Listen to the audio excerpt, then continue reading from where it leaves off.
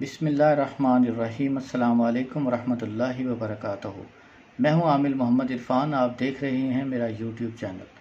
سب سے پہلے کروڑوں درود و سلام ہمارے پیارے نبی حضرت محمد صلی اللہ علیہ وآلہ وسلم پر۔ جز اللہ عنا سید الکریم، سید العظم، سیدنا، عظیمنا، مولانا محمد صلی اللہ علیہ وسلم، ما ہوا اہلہ۔ اللہ کریم دنیا آخرت کی تمام نعمتیں، تمام بھلائیاں آپ کو اور مجھ کو نصیب فرمائے۔ اللہ کریم میرے آپ کے اور تمام مسلمانوں کے کبیرہ صغیرہ گناہوں کو معاف فرمائے۔ آمین یا رب العالمین۔ دشمن کی زبان بند کرنے کے لیے، محبوب کی زبان بند کرنے کے لیے آپ یہ عمل کر سکتے ہیں۔ محبوب کی زبان اس لیے بند کی جاتی ہے کہ وہ کبھی آپ سے جھگڑا نہ کرے، کبھی آپ کے آپ بات کر رہے ہوں تو غصہ نہ کرے، ضد نہ کرے، کبھی بھی محبوب آپ کی باتوں پر غصہ نہ کرے۔ آپ کے سامنے زبان درازی نہ کرے، ضد میں، غصے میں آپ کو بلاک نہ کرے۔ آپ کی ہر بات مانے لوگ اس کو آپ کے خلاف بھی بھڑکاتے رہیں، جو بھی باتیں کرتے رہیں۔ آپ کا وہ برا دیکھ بھی لے، تب بھی وہ آپ کے خلاف کوئی بات نہ کر سکے۔ جب بھی بات کرے، محبت سے اور اچھی بات ہی کرے، تو یہ آپ عمل کر سکتے ہیں۔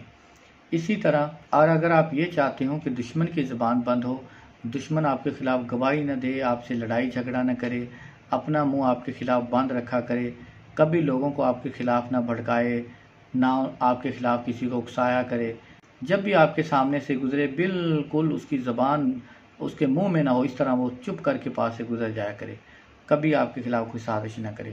تو آپ یہ تریسم کر سکتے ہیں۔ طریقہ کار یہ ہے۔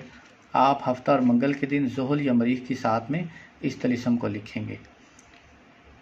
پہلے آپ حسب توفیق صدقہ ادا کریں، اپنا حسار کریں۔ اور جال الغیب کو سلام کریں۔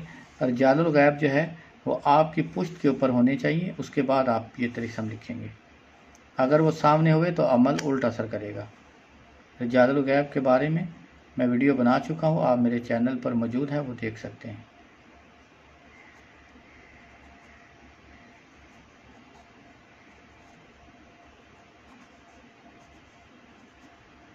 لکھنے کے بعد اب یہاں پہ آپ تلیسم لکھیں گے۔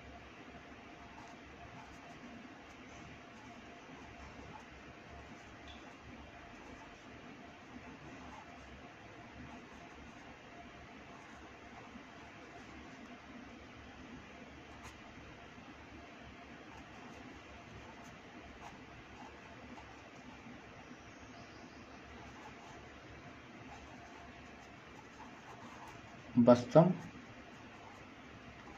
عقل، ہوش و حواس، زبان، فلاں بن فلاں، یہاں پر آپ دشمن کا اور اس کی والدہ کا نام لکھیں۔ دشمن ایک ہو، زیادہ ہوں جتنے بھی ہوں، سب کا نام لکھیں۔ جس کی والدہ کا نام معلوم نہ ہو تو والدہ کا نام رہنے دیں، دشمن کا نام لکھیں۔ از جانب و من جانب متی و مسخر کردن فی ارض و حق فلاں بن فلاں، یہاں پر آپ اپنا اور اپنی والدہ کا نام لکھیں گے۔